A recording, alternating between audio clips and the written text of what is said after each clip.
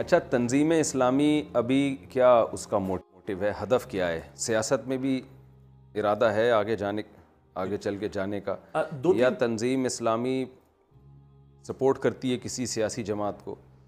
जैसे जितनी भी हमारी दीनी जमातें हैं बात सियासत में नहीं भी हैं लेकिन उनमें अंदर अंदर एक आवाज़ चल रही होती भाई इस दफ़ा ठप्पा वहाँ लगाना है जाके। ठीक है ना? तो मदारस में भी ये आवाज़ चल रही होती है अंदर ही अंदर कि भाई इस दफ़ा वोट फलां को देना है। स्कूलों में भी कॉलेज हर आदमी यानी हर एक इदारे का ऑफिशली अगरचे कोई ऐसा हदफ ना हो लेकिन अंदरून खाना ये सब चल रहा होता है। तो आप लोग की तरफ़ से भी ऐसा कुछ है कि जो तंजीम में होगा तो वो अमीर की तरफ़ से उनको कोई हिदायत दी जाती है उनको किसको वोट देना है किस जमात को सपोर्ट करना है? जजाकल्ला खैर इसमें काफ़ी पहलू बनते हैं मैं मुख्तसर अर्ज़ करता हूँ। जहाँ तक हदफ का ताल्लुक है देखिए एक एक फ़र्द का मामला। तो फ़र्द का नसबुलैन तो है रज़ा इलाही और उखरवी नजात। जी। ये है सबसे बुनियादी मसला। वरना बाद अवत इज्तमाहीतों के अहदाब में फ़र्द बेचारा खो जाता है और आखिरत खोटी हो जाती है अल्लाह महफूज रखे। तो ये हमारे तहरीर शुदा बात है हमारे लिटरेचर के अंदर।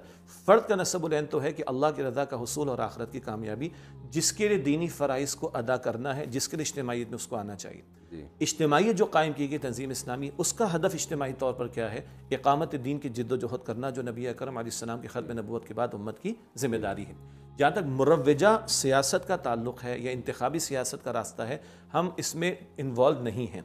लेकिन हम सियासी गुफ्तु भी करते हैं यानी तबसरे हाँ। मुल्क के हालात पर कलाम करते हैं। डॉक्टर साहब के बयान तो आज भी लोग माशाल्लाह सुन रहे हैं इस एतबार से। तो सियासत में तो हम इस माने में ज़रूर हैं कि सियासत का दुरुस्त होना मुल्क का इंतज़ाम दुरुस्त होना उस पर राय रखते हैं आरा देते हैं हुक्मरानों तक बात पहुँचाने की कोशिश करते हैं। लेकिन हम क्या इंतबी सियासत में शामिल हैं? हम उसमें शामिल नहीं और आपने इशारा भी फरमाया कि जैसे हमारे बाद तबक़ात ये जमातें हैं जो बर रास्त इन्वॉल्व नहीं लेकिन अंदर अंदर ही अंदर यानी किसी न किसी के लिए हिमायत का मामला होता है और ये अंदर ही अंदर का मामला हम पॉजिटिव कह रहे हैं। तो हमारे यहाँ भी उसूली बात ये तय है कि हम एज अ जमात इंतबी सियासत से गुरेज करते हैं और हमारा पूरा यानी अब तो पिछहत्तर बरस की तारीख गवाह है कि इस रास्ते से निज़ाम चल सकता है बदल नहीं सकता।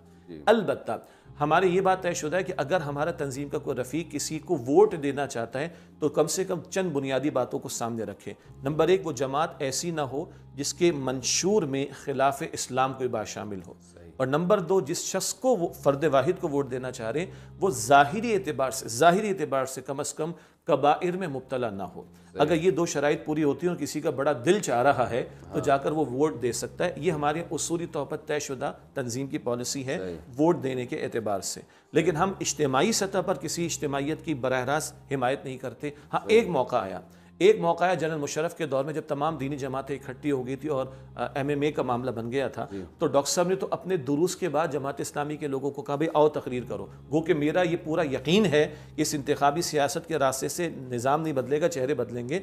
लेकिन चले देवबंदी हों बरेलवी हों आहलुल हदीस हो इनके वोट भी बढ़ जाते हैं ना मसल की बुनियाद पर। अगर एक जगह जमा हो गए तो चलो भाई हम अपना वज़न आपके वज़न में डालते हैं। लेकिन उस वक्त जितनी सीटें मिली मुफ्ती साहब उसके बाद अब कभी इम्कान नहीं है। और उस वक्त जो कुछ मुशरफ के दौर में हुआ शरीयत के हवाले से दीन इस्लाम की पस, के तालु से पसपाई का मामला वो भी बहरहाल तारीख का हमारे सामने हिस्सा है।